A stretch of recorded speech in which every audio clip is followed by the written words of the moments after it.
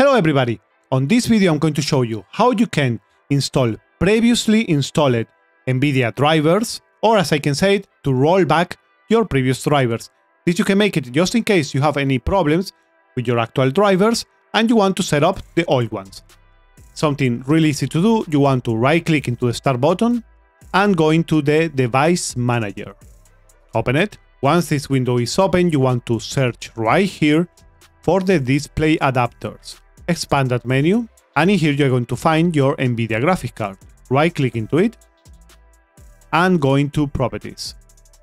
From here, go to the tab where you see driver and you should see an option to roll back the driver. And this is because if the device fails, after updating the driver, you can roll back to the previously installed driver. Now you want to click right there and this is going to roll back the drivers. If this option is not available for you, what you want to do is to click into Update Driver. From here, you don't want to search into automatically for drivers, you want to click into Browse My Computer for drivers.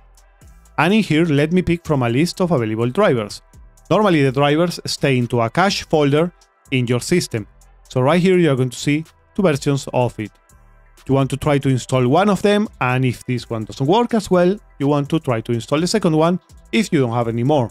And that is pretty much it, guys. Like this, you can roll back your drivers to a previously installed version. Thanks for watching, don't forget to drop a like if the video was useful, and subscribe to the channel for more content like this one. See you guys on the next time, bye bye!